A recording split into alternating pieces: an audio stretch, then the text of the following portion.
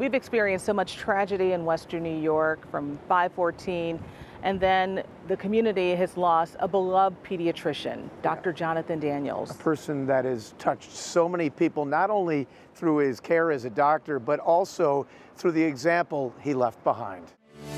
He was the one who cared for so many children in Buffalo. He just exuded calmness and he's so intelligent and he just put people at ease. Dr. Jonathan Daniels was one of a handful of black pediatricians. I know of people. Yeah, already. I mean, are crying because he saved their lives. In tears. I, I, I can't, I don't have enough arms to console the number of people who are hurting by his, his loss. Dr. Emmy Nylander knew Dr. Daniels going back to medical school. His patients, uh, many of whom I, I delivered, um, are, are going to be at a severe loss, um, especially the community. Tara, a mom, wrote, I never had a black doctor growing up, but my daughters were privileged to have Dr. Jonathan Daniels as their pediatrician.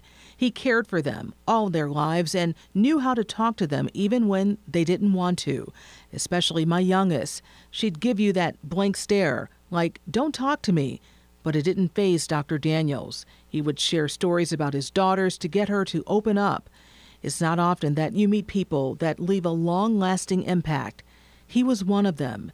Dr. Daniels had a heart of gold, and I'm saddened by the tragedy of his death and two daughters, Jensen and Jordan. Dr. Nylander was well aware of Dr. Daniels' push for diversity in the medical community as he worked to broaden the pool of students entering medicine. This year's class is one of the largest incoming classes of African American and black and brown students that we've had in a long time. And here he is, pictured with some of the students at the UB Jacobs School of Medicine. He's part of the admissions board committee as well. And so um, he sees them coming in and he sees them leaving. And he's always so proud of what they've accomplished and what they're going to accomplish in the future. They're, they're his legacy. July 4th, fire ripped through Dr. Daniels' home on Huntington Avenue. Fire officials say he went back in to save his two daughters. For that, they call him a hero. Dr. Daniels, along with his daughters, Jordan 27 and Jensen 23, died. His wife Janessa survived. She's out of the hospital. Their daughter Jillian was not home. He was the proudest girl dad I've ever seen. He loved his girls. The family bond was like nothing I've ever seen before with him and his wife and his three girls. He was a true gentleman. You know, I, I think I I had him as a student, uh, and then later on came back. I said one day we'll work together. And May May of this 2021, he you know he chose to come and join our practice. But uh, the patients loved him. That's why I always wanted him to be part of my system. Uh, caring, uh, he, he, was an associate clinical pro- professor with the department of pediatrics and also with the admissions department. During the pandemic, we heard from Dr. Daniels. We have to go back to the basics. Whenever you have a medical issue, you go back to the basics. How can you mitigate what's going on? And that's going to be hand washing, face masking, face masking, and I call physical distancing. He was honest with people.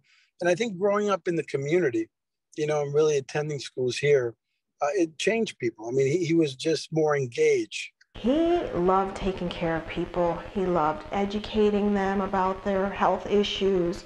He liked seeing them grow up and become, you know, fruitful individuals in life, you know. Um, he was so proud of his babies. He really was. He was proud of those kids that he helped to raise.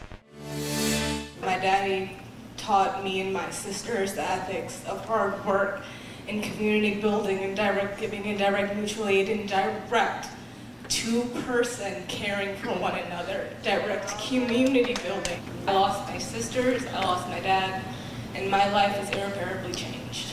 She bravely spoke at the funeral. It was packed, as the program said. They were the Wolf Pack. I am Janessa Gibbons Daniels, proud wife and lifelong partner to Jonathan, David, John John Daniels. We are going to come together and celebrate my awesome, extraordinary, exceptional family man. He was a very proud, proud and private person. He was never boastful. and definitely not arrogant or assuming.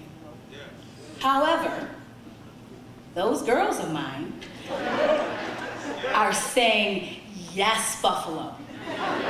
We see you. Job well done. Family, honor, duty, and service were Jonathan's core values.